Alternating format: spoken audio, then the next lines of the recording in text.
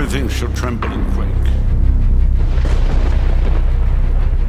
I saw it in the spirit, the shouts that will be heard around the world. Because there's coming another shout. The trump of God. The voice of an archangel.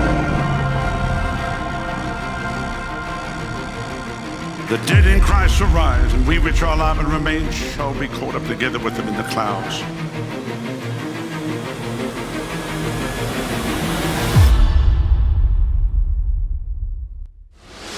I believe what we are about to see in the next three years will eclipse everything that we've ever seen.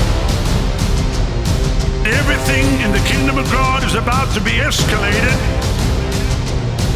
And the power of God is going to flow forth from the church. It shall be shouted from the mountaintops until the whole of America knows that Jesus is alive, that he is real, that he's coming soon.